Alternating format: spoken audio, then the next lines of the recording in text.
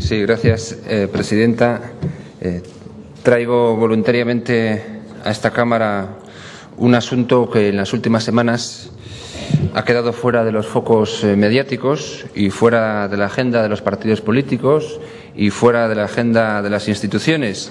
Y lo traigo a esta Cámara precisamente mm, por eso y para que no se olvide y para que todos los partidos políticos, sin excepción, y especialmente las distintas instituciones, y en este caso su departamento, señora consejera, eh, colaboren para arrojar luz y aclarar los casos de robos de bebés ocurridos en nuestra comunidad en las últimas décadas. El último caso data prácticamente de anteayer, como quien dice, ¿no? del año 1997, eh, si no me equivoco.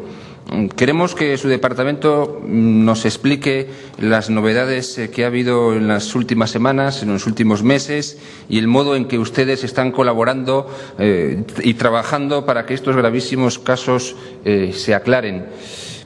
Queremos saber si han mantenido contacto fluido con la asociación SOS Bebés Robados Euskadi para asesorarles o mostrarles su apoyo y, en caso de que no haya sido así, queremos preguntarle por qué.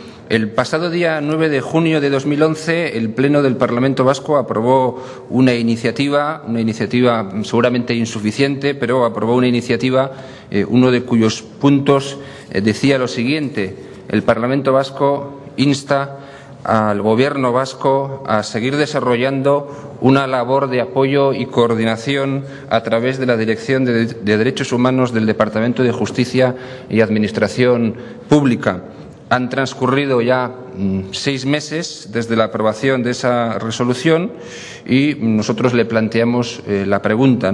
¿Qué resultados está teniendo la labor de apoyo y coordinación que la Dirección de Derechos Humanos de su departamento viene, viene supuestamente dando a los afectados por los robos de neonatos y si efectivamente han tenido eh, diálogo con esta asociación o si, por el contrario, ustedes no saben absolutamente nada del tema. Gracias.